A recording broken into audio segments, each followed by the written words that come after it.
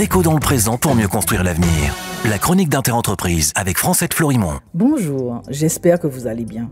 Dans la période de la gouvernance par l'adaptation dans laquelle nous sommes aujourd'hui, nous avons vu que la mise sous le tapis de problèmes de pollution s'est produite à grande échelle.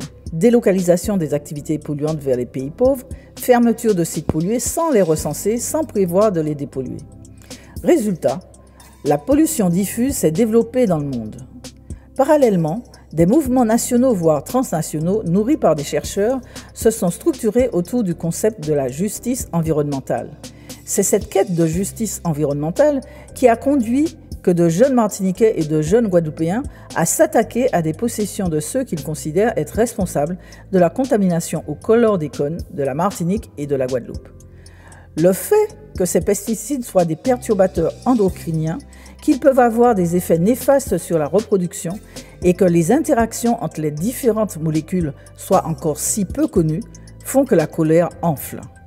La gouvernance par l'adaptation veut dire qu'aujourd'hui, c'est l'ensemble des modalités de gestion des substances potentiellement dangereuses qui se retrouvent dans les biens de consommation courante et surtout parce que les contaminations se touchent désormais dans l'environnement des populations plus aisées, généralement non affectées par des environnements hautement contaminés, que la sonnette d'alarme mondiale a été tirée.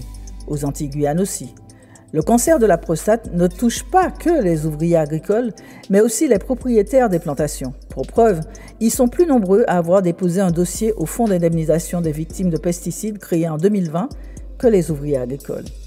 Face à ces contaminations qui débordent partout, les gouvernements avouent désormais l'impossibilité de contenir les effets délétères des produits chimiques et proposent, face à ce constat d'échec, des stratégies d'adaptation. Un exemple les dispositifs contenus dans le plan Chlordécone 4. On en parle la semaine prochaine. Prenez soin de vous. Déco dans le présent pour mieux construire l'avenir. La chronique d'Interentreprise avec Francette Florimont.